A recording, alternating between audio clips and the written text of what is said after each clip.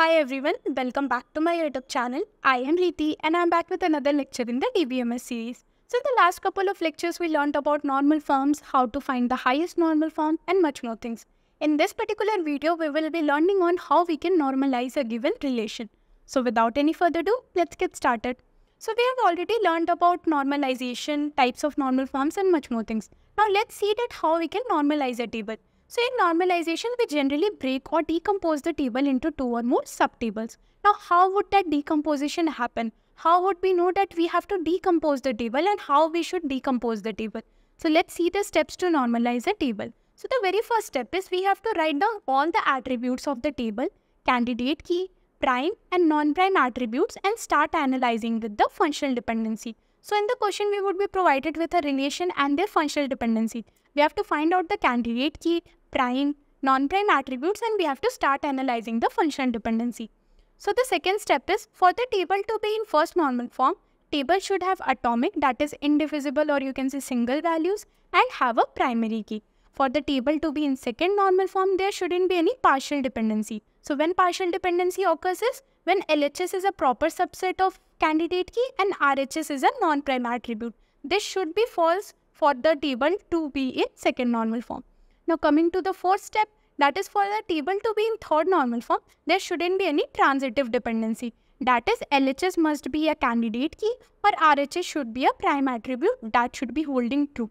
Now coming to the fifth step, for a table to be in BCNF, LHS must be a candidate key or super key. Now coming to the sixth step, if it fails at any of these steps like second, third, fourth and fifth where we are finding about first, second, third and BCNF, then we have to decompose the table on a common attribute which is a candidate key so that the decomposition is lossless that is data is not lost.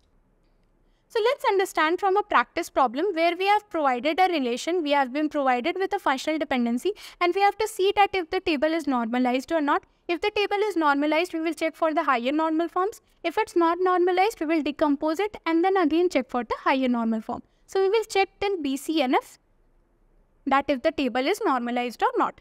So the step one is we have to find the candidate key, prime attribute, non-prime attribute and start analyzing the functional dependency. So to find the candidate key, first we will note down all the attributes of the given relation. Then we will iterate with the function dependency and we will see if the dependent and determinant are present or not. If both of them are present, then we can discard the dependent because it can be determined. So the first function dependency is A determine B. B is the dependent and A is the determinant. Both are present, so we can discard the dependent. So now we are left with ACD. Now coming to the next functional dependency, B determines C. So C is the dependent and B is the determinant, but B is not present here. So we have to leave this functional dependency. Now coming to where C determines D. So D is also present here and C is also present here. So we can discard D. Now we are left with AC. So from here you can see that A determines B and B determines C. So can we say that A will also determine C from the rule of transitivity? So we can see that A determines C and A and C both are present here. So we can discard the dependent that is C. So we are left with A. And if we take the closure of A, it will give me A, it will give me B, B will give me C, and C will give me D. So we can say that A is a candidate key. And now we have to see that if A is present at the right hand side of any of the functional attributes, no, it's not present. So we can say that A is the candidate key. So here candidate key is A, prime attribute are the one which are part of candidate key, so A is here, and non-prime are the one which are not a part of candidate key, so that is BCD. So in step 2, since we have find out the candidate key prime and non-prime attribute, we have to check for the first normal form. So since we are assuming that our relation is in standard relational model, it is already first normal form. So here we can see all the values are atomic only because it is a standard relational model. Now coming to the step 3, that is we have to find for the second normal form. So to check for the second normal form, we have to check that if there is any partial dependency present or not. If it's present, then it's not in second normal form. If it's not present, then we can say it's in second normal form. So coming to the first functional dependency that is A determine B. A is already a candidate key and the proper subset of candidate key is phi. So we can say that there is no partial dependency as A is not a proper subset of candidate key and B is non-prime. So false and true gives us false. There is no partial dependency. Now coming to B determine C. So B is not a proper subset of candidate key and coming to C, so C is also a non-prime attribute. So LHS must be a proper subset of candidate key and RHS should be a non-prime attribute. So this is true but this is false. So false and true gives us false. Coming to the third functional dependency, C is not a proper subset of candidate key. So we can say LHS is not a proper subset of candidate key. D is non-prime attribute. So this is false and this is true. So false and true gives us false. So this one is also not having any partial dependency. So we can say that the given relation is in second normal form. Now let's check for the third normal form. So for third normal form, there shouldn't be any transitive dependency.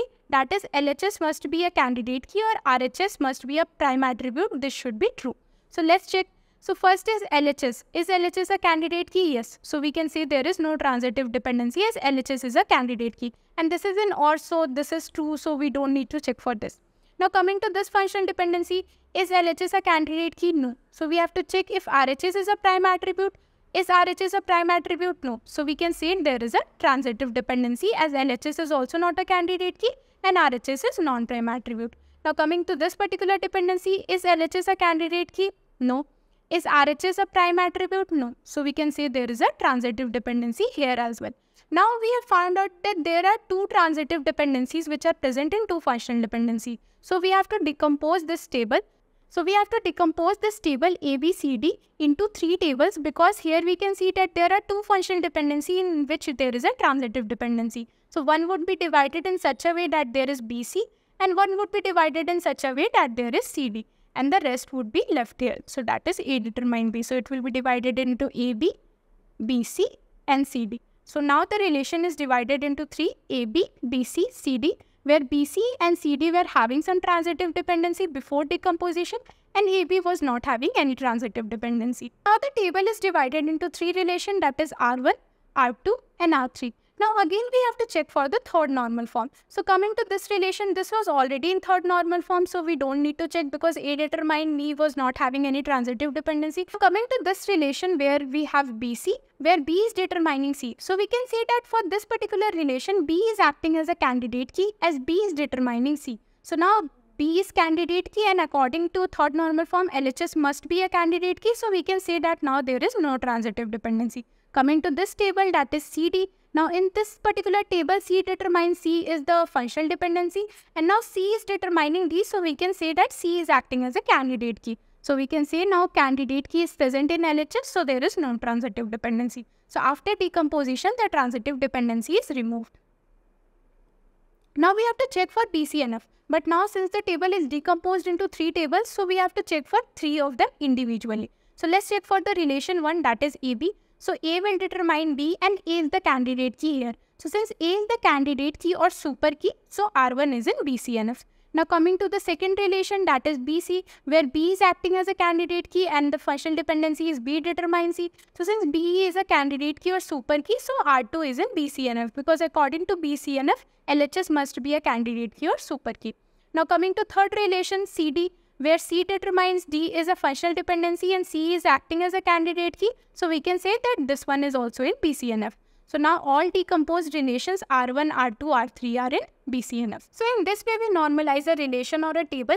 We generally decompose the table or relation whenever we find out that it's not following a certain normal form. So this was all about this video. I hope you like this video. So if you like this video, please hit the like button. If you are someone who is new to my channel, can go ahead and watch out the tech content first. And if you find it useful, can go ahead and subscribe. Also, if you have not followed me on my social media handles, you can go ahead and follow. The links are in the description. Till then, take care, keep learning, keep growing, keep smiling. Bye.